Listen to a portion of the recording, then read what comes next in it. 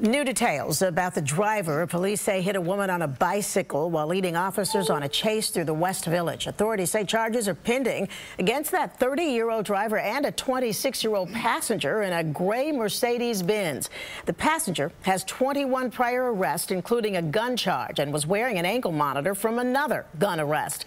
Investigators say officers tried to pull them over last night in Alphabet City because they thought the driver had a gun.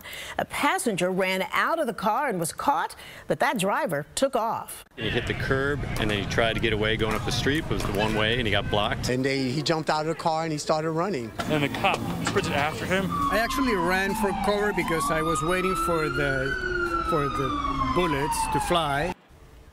The bicyclist is in stable condition. New at noon, the Hochul administration is slamming New York